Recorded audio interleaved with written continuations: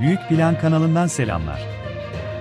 Türkiye ve dünyadaki önemli gelişmelerden haberdar olmak için kanalımıza abone olup bildirimleri açmayı unutmayınız. İstanbul'da iki sürücü, yabancı uyruklu olduğunu ileri sürdüğü iki çarşaflı kadının üzerine motosikletini sürdü.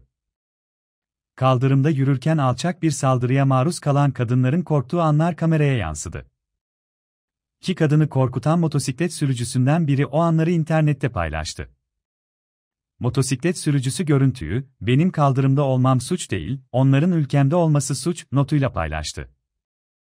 Hem yabancı hem de tesettürlü olduğu için kadınlara saldıran sürücülere, sosyal medyadan tepki yağdı. Çok sayıda vatandaş, sürücülerin yakalanıp yargılanmasını istedi. Bir vatandaş ise, bu maganda, şu yaptığını bir sokak hayvanına ya da biraz açık giyinmiş bir kadına yapsa birçoğumuz kıyameti koparırız ama ne yazık ki böyle bir olaya maruz kalanın bir insan olduğunu unutup. Sırf çarşaflı olduğu için ses çıkarmayan hatta destekleyen çok insan çıkar bu ülkede, diyerek tepkisini dile getirdi. Başka bir sosyal medya kullanıcı ise, bu ırkçılık değil başka bir boyut Rus, İngiliz, Alman, Fransız, Amerikalı olsa, hoş geldiniz efendim derlerdi.